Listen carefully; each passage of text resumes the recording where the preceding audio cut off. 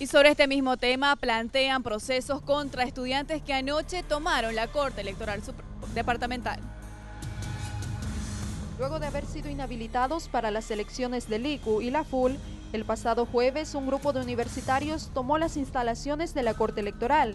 Hoy el presidente de dicha institución aseguró que se iniciará un proceso penal a los responsables. Estamos coordinando con el departamento legal dos delitos, digamos. Hay una obstrucción, obstrucción a, la libertad de, mis miembros de la, de la Corte Electoral. Han sido retenidos por más de 10 horas en las noches. Lo hemos sacado en la noche a 10 horas de la noche por otros, por otros mecanismos. Entonces, eh, eh, eso es un secuestro, ¿no es cierto? Es un delito. Tenemos las imágenes, tenemos las cámaras que ya nos han identificado, los dinosaurios, y nos vamos a iniciar un proceso penal debido a esta violación a los derechos constitucionales que tiene la gente de, desplazarse en libertad, lo que no han podido hacer mis funcionarios toda vez de que han estado secuestrados por más de ocho horas. Alrededor de 16 personas fueron deshabilitadas por el siguiente motivo. Se ha deshabilitado aquellos eh, eh, candidatos estudiantiles eh, denominados dinosaurios, porque la ley y el estatuto dice que solamente deben ser universitarios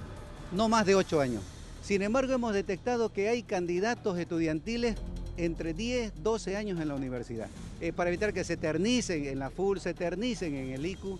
Entonces eso ha molestado a la gente, ¿no es cierto? Y esa gente que ustedes pueden ver hasta la carita, a grandes rasgos, van a ver ustedes que en la eh, eh, cerrada lo tenemos la corte porque esa gente está protestando porque no se ha podido habilitar, porque la ley no se los permite, ¿no es cierto? Pero sin embargo estos dinosaurios salieron este, mucho más vivos, ¿no es cierto? Porque se inscribieron siendo alumnos regulares, se han inscrito en una nueva carrera y han querido justificar demostrando de que como si fueran nuevos alumnos. Esa trampa ha detectado la Corte y los ha deshabilitado, ¿no es cierto?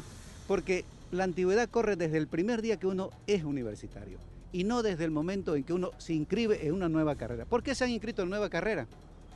Para hacer aparentar como si fueran nuevos universitarios y eso los habilitaría, digamos, para que sean candidatos al ICU o candidatos a la FUN. Por el momento, la oficina de la Corte Electoral Permanente fue trasladada al rectorado para continuar con el proceso eleccionario.